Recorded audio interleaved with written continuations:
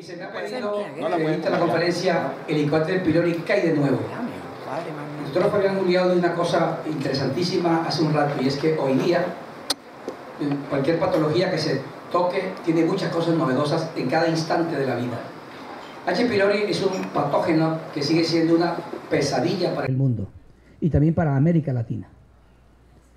Desde hace muchos años esto está claro y quiero aquí enfatizarlo. Siempre que hay Helicobacter pylori hay gastritis crónica, independientemente de que haya síntomas o no haya síntomas.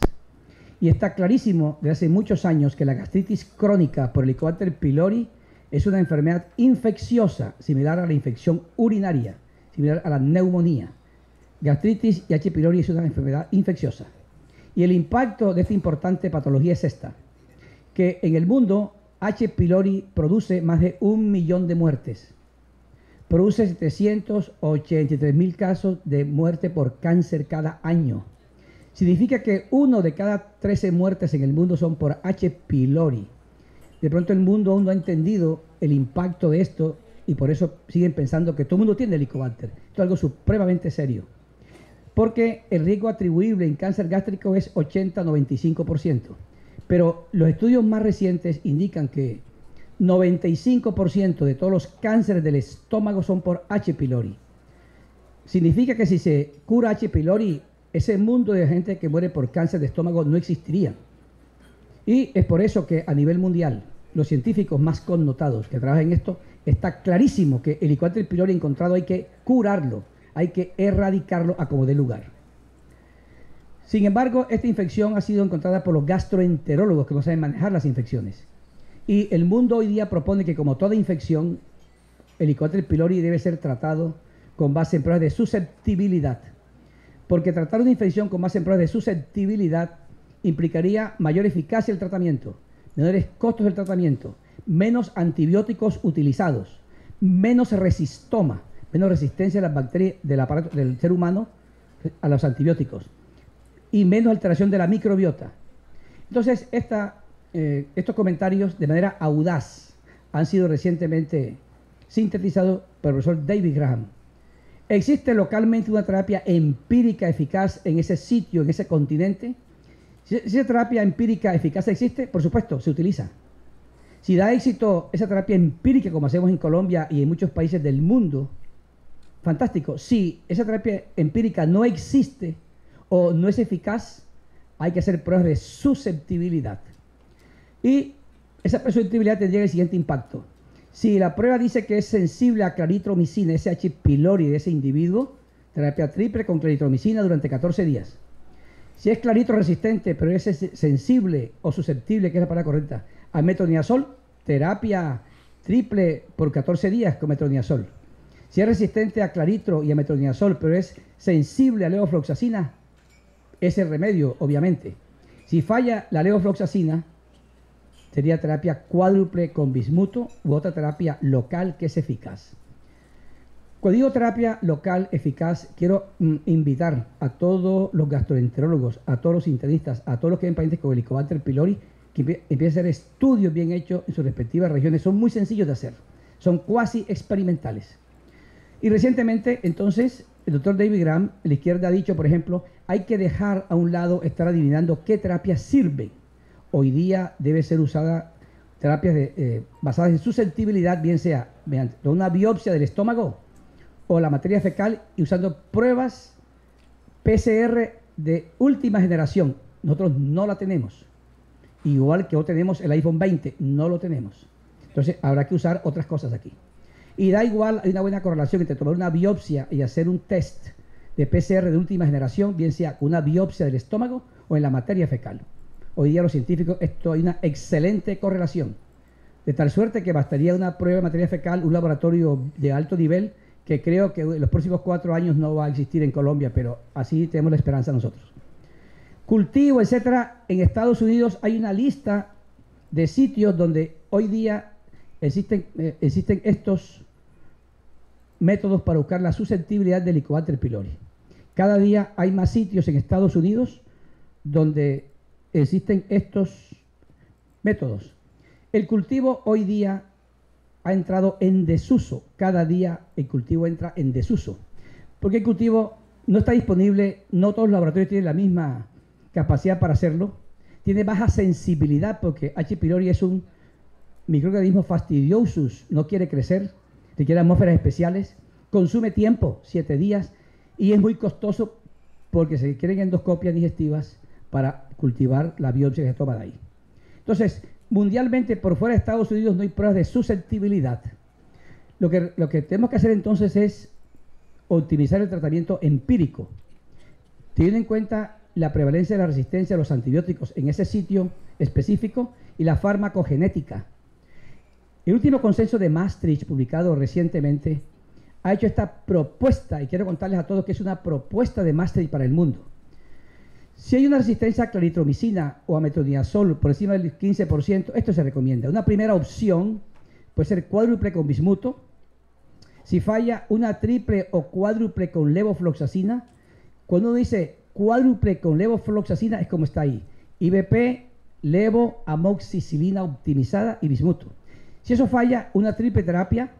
Yo no entiendo por qué Maastricht incluye triple con rifabutina. El doctor David Graham ha producido este importante paper, pero no pasa del 82% de la eficacia. Pero como vienen tres en uno, la usan. Tiene una cosa interesante ahí. Una figura connotada la recomienda y todo el mundo la va usando. Y otra opción puede ser esto. Ayúdenme aquí, señor, que otra vez se me dañó la cosa.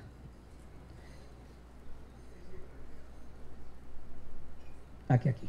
Otra opción puede ser no iniciar con cuádruple con bismuto, sino una concomitante. En Colombia, la concomitante, que es usar amoxi, claritro, metronidazol, creo yo que estaría, no estaría indicada porque la resistencia dual a claritro y metronidazol es muy alta. Nuestro estudio ha mostrado que es como del 20 o 30%.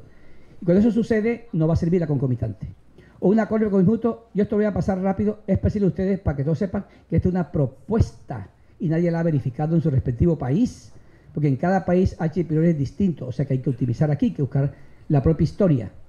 En América Latina no están disponibles las pruebas de susceptibilidad y tampoco todos los antibióticos.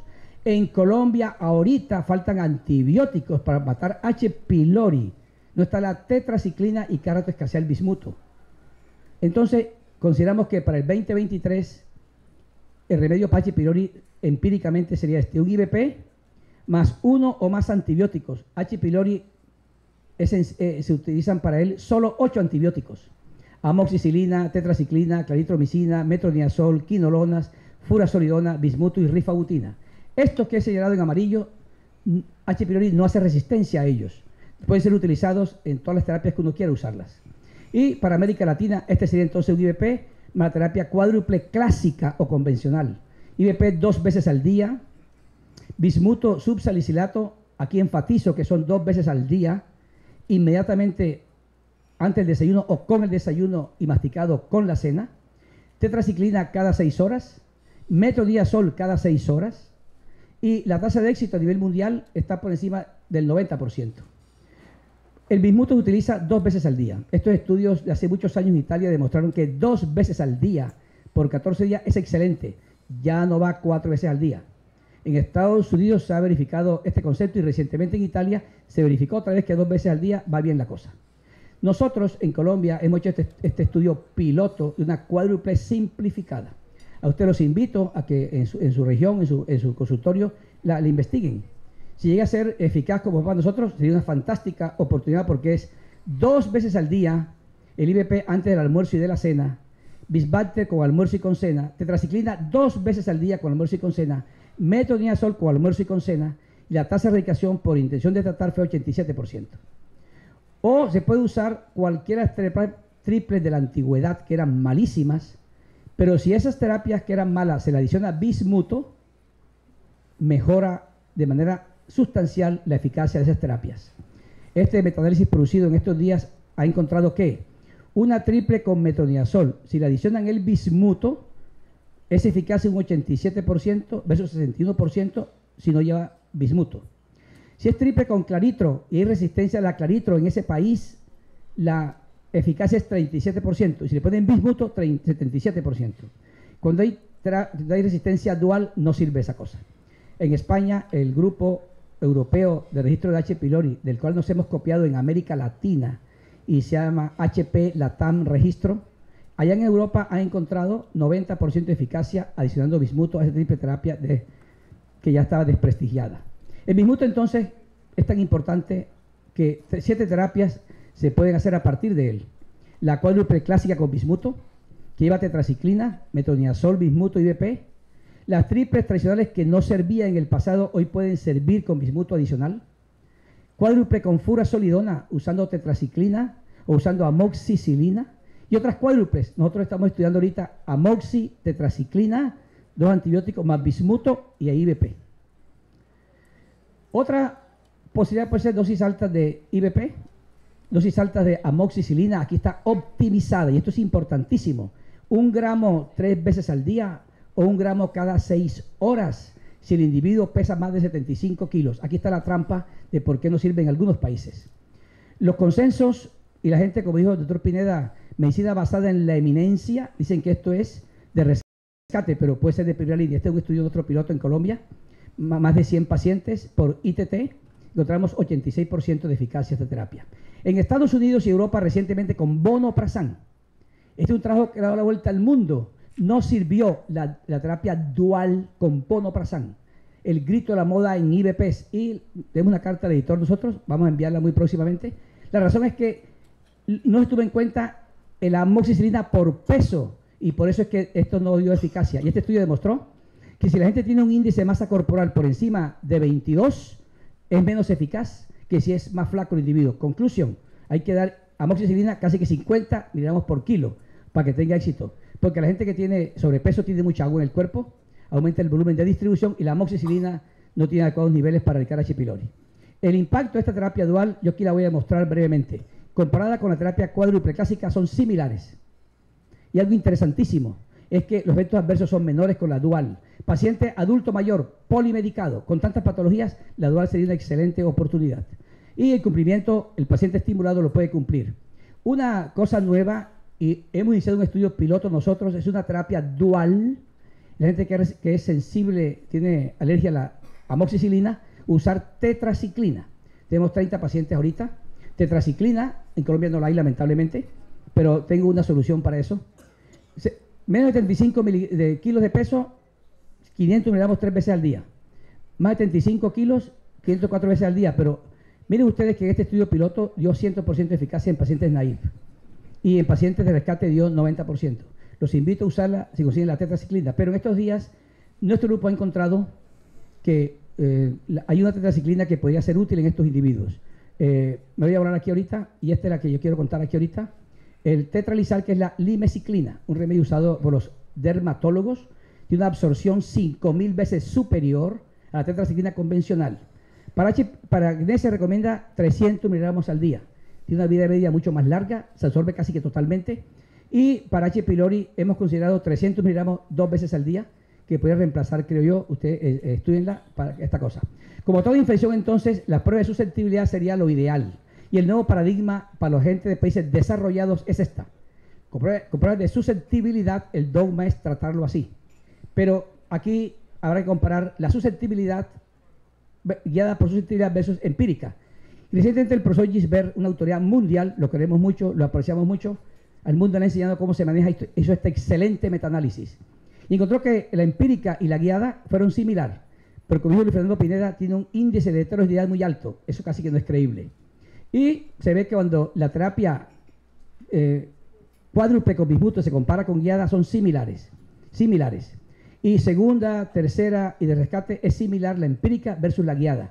Pero tiene un inconveniente, es que este metaanálisis tiene mucha heterogeneidad. Pero eso es lo que hay hasta ahorita. Es como el reinado que se haga reinado, no sé, reinado del pescado. Pues sí, hay una candidata, pero eso tenemos, no hay nada más que hacer. Eso es eh, no hay más. Pero el doctor Gisbert ha hecho este estudio interesante prospectivo. 500 pacientes tratados prospectivamente con terapias sucesivas, 599% de eficacia. Ahora, en cada país hay que ver cuál se utiliza en cada país. Estamos interesados en el registro Helicobacter pylori LATAM. Aquí yo coordino en Colombia el grupo, ya estamos metiendo los pacientes. Y el doctor David Graham en estos días ha hecho este metaanálisis y ha encontrado algo muy interesante que voy a compartir con ustedes. Terapias guiadas, la eficacia mayor del 90, 90%, solo se logró en el 44% de los estudios. Y terapia mayor del 95% de eficacia guiada, solo en el 17%. En cambio, la empírica, eh, terapia mayor del 90% en 15% de los estudios y ninguna terapia empírica superó el 95%. Esto trae un mensaje contundente. Aún con terapia guiada hay que optimizarla para que pueda servir, ser un capítulo de Evo para matar a H. pylori. Incluso con, antibióticos conocidos hay problemas. Este sería entonces el panorama. H. pylori así en Estados Unidos. Maravilloso, así en América Latina. Entonces, para América Latina pensamos que había terapias de primera línea, de segunda línea, tercera línea y terapias de rescate. Cuando he estado con expertos mundiales, eh, se ríen de, esta pirámide y cuando empezamos a decirle es que la gente tiene que tener unas opciones de acuerdo a su país, lo que tenga disponible. Tiene cuádruple clásica, una terapia dual con amoxi, ahora con tetraciclina, 20% no se van a curar, requieren otras. ¿Cuál sigue en segunda línea? La que no se usó en primera línea, eso es muy sencillo. Steve Jobs tuvo éxito con el iPhone es por eso, porque es muy sencillo de manejar. Cuádruple clásica, si no, si no mejora, pero quiero enfatizar que la leofloxacina se utiliza después de segunda línea hacia adelante tiene efectos adversos verificados por la EMA y la FDA, no se puede usar entonces de primera línea. Y la cuarta línea, para nosotros el santo grial con fura solidona y bismuto. Entonces, esta definición, después se trata, hay que verificarla. Hoy día el estándar mundial es con carbono 13, que no es radiactivo. En Colombia no existía. Recientemente ha llegado a Colombia el estándar de oro, que es el que, eh, recomienda la FDA y la EMA. Hoy día, con esta nueva máquina que es un espectrofotómetro de masa muy chiquitico, que le pasó a unas máquinas muy grandes, hoy están disponibles en los consultorios de cada persona. Se pueden, procesar ocho pruebas al tiempo. Y nosotros cuando no teníamos este, este equipo usábamos el carbono 14, que es mínimamente radioactivo, pero en niños no se puede usar y tampoco en embarazadas. Pero el, 13 ya está disponible en Colombia y próximamente será el lanzamiento en Bogotá y después en otras ciudades. Los antígenos fecales es una opción y la endoscopia no se utiliza para verificar la erradicación, excepto si hay que hacerla por la patología inicial del paciente. Los mensajes para su casa son estos. H. pylori hoy día es el blanco de una guerra tremenda para matarlo, a como dé lugar, con terapias basadas en susceptibilidad, terapias empíricas, los probióticos, aún no van los probióticos y la vacuna está en camino. H. pylori es difícil de matar, tal cual está aquí Robocop, tal cual. Le dan antibióticos, se muere, entra de forma cocoide que no se replica y una vez que quita el antibiótico empieza a caminar H. pylori. Pero estamos seguros que con pruebas de susceptibilidad iniciales, pero optimizadas. Terapias empíricas bien elegidas, optimizadas. Morirás, morirás, morirás. Amigos, muchas gracias, muy amables por su atención.